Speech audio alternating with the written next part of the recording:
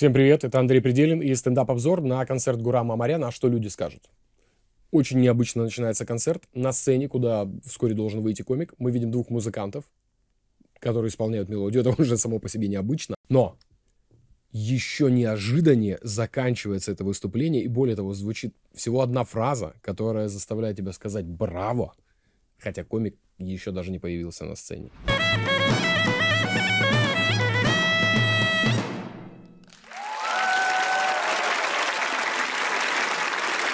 Встречайте, мой сын. И сразу, смотрите, отлично проработана сценография концерта. Всего одним объектом, который напоминает то ли солнце, то ли луну, заполнили практически все пространство. Лучи этого, пусть будет солнце, э, красиво рисуют имя комика, а тенью на сцене проявляется название концерта лаконично, стильно, минималистично, красиво, просто радуется глаз. Это что-то невероятно красивое. И это в самом начале концерта. Да, после такого начала ты думаешь, вау, а что же будет дальше? Класс. Пришло сообщение на букинге, что в случае вашей смерти на Мальдивах, я такой, нихуя себе начало отпуска. Слушайте, ну, честно говоря, начинать концерт с темы смерти, это, конечно, очень смело. Понятно, что зал разогрет, это всегда бывает на концертах, тем более больших концертах, неважно, будет видеозапись, не будет видеозаписи, но тем не менее, пон- да, понятно, что людям заходит, и понятно, что заявляя такую тему, да, ты сразу соберешь все внимание. Ну, невозможно не вовлечься. Очень, очень острая тема. Хм.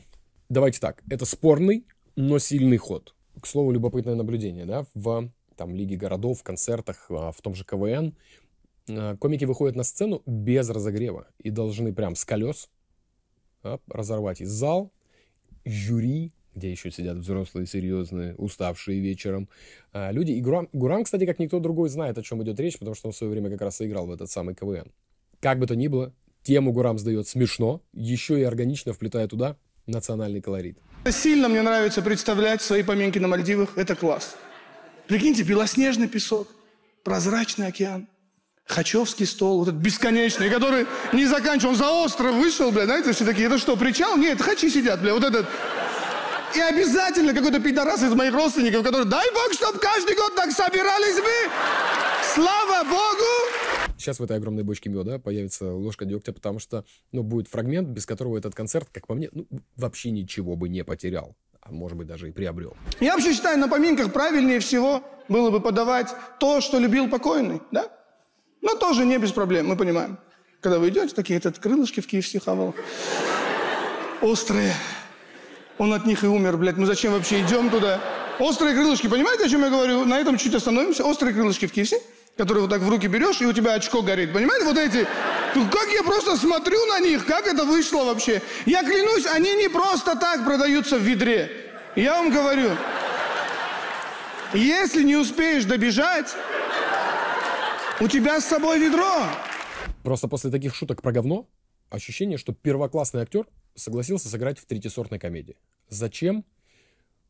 Может, он хочет понравиться аудитории. Типа, смотрите, я тоже ем в КФС. Но у человека, что там, Кадиллак, джип, да, с персональным водителем, и отдыхает он на Мальдивах. Не веришь ну, не веришь в данном случае артисту. Странно это выглядит. Более того, забавно, что сам Гурам об этом говорит. Да, недавно родственники на концерт приходили. Доебались до меня сильно. Просто жестко. Вот это, так, такое ужасное чувство. Ты когда вот это на сцене так говоришь, когда тебе не стыдно вообще, ты вот это, почему ты вот такие вещи на сцене, когда вот эта херня началась, бабушка обиделась на что-то, вообще не понял на что. Сильно задолбали. Вот это. Гурам, а вот ты когда так выступаешь, ты не подумал? Люди что скажут, Гурам? Ненавижу этот вопрос, ненавижу этот вопрос. Нас же всех на нем воспитали. Что люди скажут? Здорово, что заявленная тема это не просто набор слов к подписи э, к видео. А, кстати, вот классный кадр, зацените. Но при этом сейчас будет еще одна спорная, как по мне, и, и сама тема, и шутка. Да, смешная. Ну, правда, очень смешная. Но при этом вот такая же скользкая. Вот смотрите, просто пример. У меня есть дядя в Тбилиси, у которого своя контора ритуальных услуг. Да? Ритуаль... Не виртуальных, ритуальных. Он такой, дядя вебкамщица. Нет. Э, вы говорите пандемия, он говорит охуительный сезон.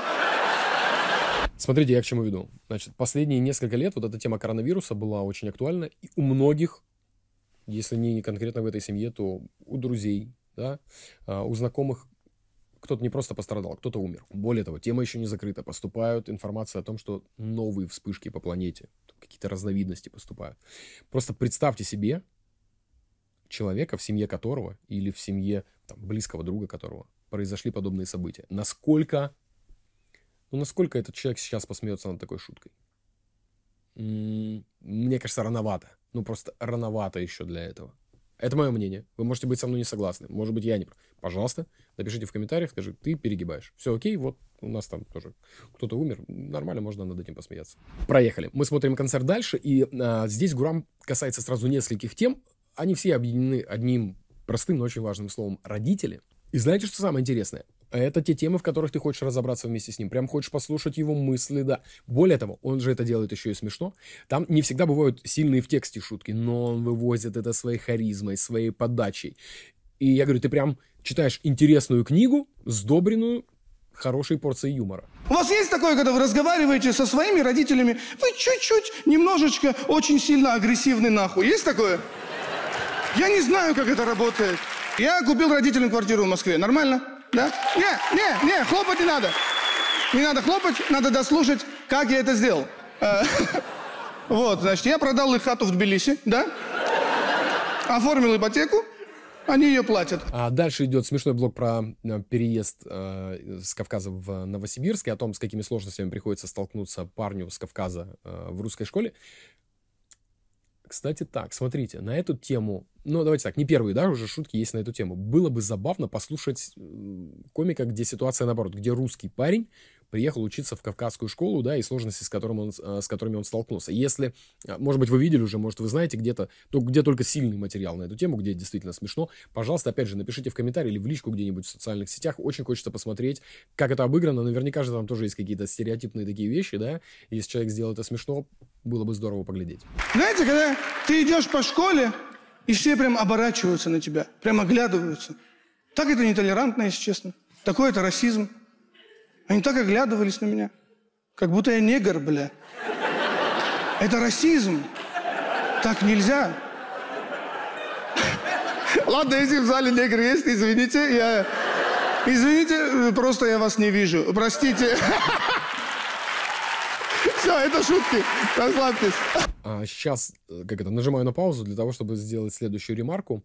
Надо будет сделать стендап-обзор на концерт Адиса Мамо это темнокожий парень, который отлично вышутил все вот эти темы, связанные с э, другим цветом кожи. А Гурам тем временем заводит очень важную и э, близкую мне тему, связанную с нецензурной лексикой. Слушайте, а у вас, у вас матерились родители, честно? У вас матерились в детстве при вас родители? Похлопайте, у кого было такое. К моему сожалению, недолго мы останавливаемся на этой теме. Гурам рассказывает о своем папе, который ругался матом. И я что-то в этот момент задумался, да, я, наверное, тоже от отца пару раз вот в детстве слышал какое-то крепкое словцо, где-то он не успевал себя сдержать. От мамы нет. Точно. А, сделаю после этого видео опрос на вкладке сообщества, а ругались ли у вас дома в вашем присутствии ваши родители, когда вы а, были маленькие. Интересно посмотреть на вот среднюю температуру по больнице. Тем временем в концерте у Гурама. А дальше идет очень забавная шутка про получение гражданства. Я охерел. Знаете, как обидно, блядь? У Депардье гражданство, вы понимаете? Обеликс, блядь, гражданин России. И я шесть лет в этом, блядь, паспортном столе провел. И практически сразу переход на новую тему, связанную с его племянником. Я по нему скучаю, маленький, прикольный, пять лет ему, он всегда, я, он меня видит, он скучает, я скучаю, он дядя, бежит ко мне, я беру его на руки, и в этот момент он меня заебал, вы понимаете? Ну, я очень его люблю, но кладу его обратно вот так, э, заебал, давай. Но с любовью, потому что племянник – это каршеринг в мире детей.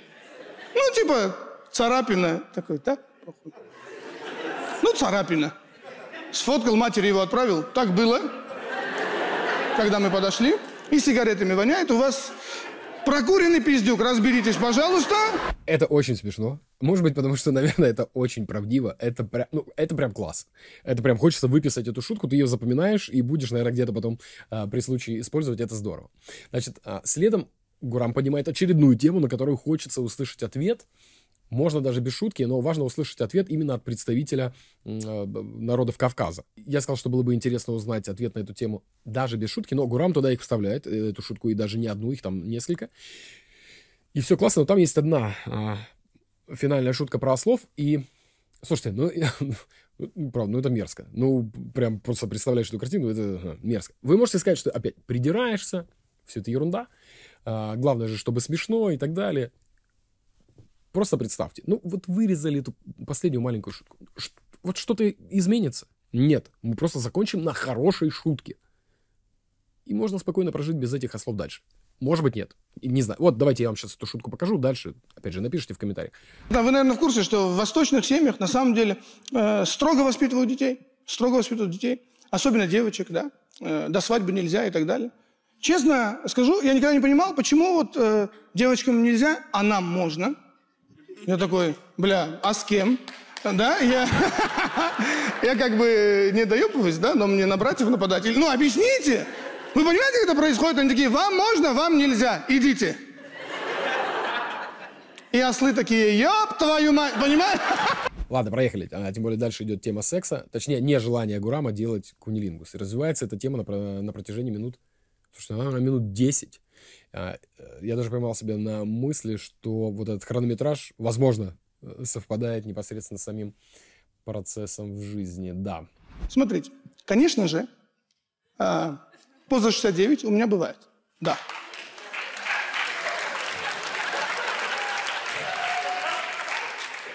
Просто я ничего не делаю. Вот и все. Вот моя поза 69. Ага. Слушайте, ну понятно, что на такую глубокую во всех смыслах этого слова тему писать легко. Зал радуется. Все, да, это понятно, это смешно, это весело, интересно, легко. Давай.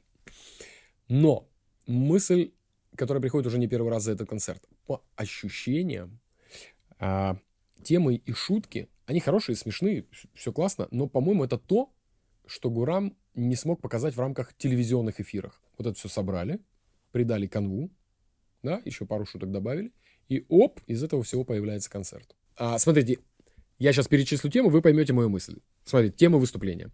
Смерть, похороны, говно, смерть от коронавируса, ругаться матом, 10 минут кунилингуса. И понятно, что материал-то смешной, выбрасывать жалко. Куда его девать? Непонятно. А так подсобрали, оп, все, концерт. Ну, норм. Ну, а что, ну, смешно, смешно. Тем более, что объективно весь этот концерт очень удобно ложится в тему, которая озвучена в его названии. Но, опять же, как бы то ни было. Дальше Гурам поднимает еще одну тему, на которую, опять же, мне искренне хотелось бы узнать ответ. А если еще и с юмором, вообще класс. На простом примере. Похлопайте русские люди, которые дружат с кавказцами в жизни. Похлопайте. Есть такие здесь? Да, вас всегда много. Всегда много. Прям дружите, в гости ходите, правильно? Вы кенты. Сейчас я вам расскажу, что мы говорим о вас. Когда только от вас вышли. Да? Мы были у вас в гостях и только вышли. Ну, во-первых, мы такие, нам бы такую хату хуй кто сдал. Это во-первых, да? Да, правда, после этого мы снова возвращаемся к отношению с девушками. Точнее, э, отношению э, девушек с девушками. Речь о дружбе, если что. Окей? Но, девушки, я не знаю, как вам объяснить такую простую и очевиднейшую вещь, что каждый ваш друг, каждый ваш друг хочет вас трахнуть. Каждый друг. Не верите? Давайте дружить, блядь.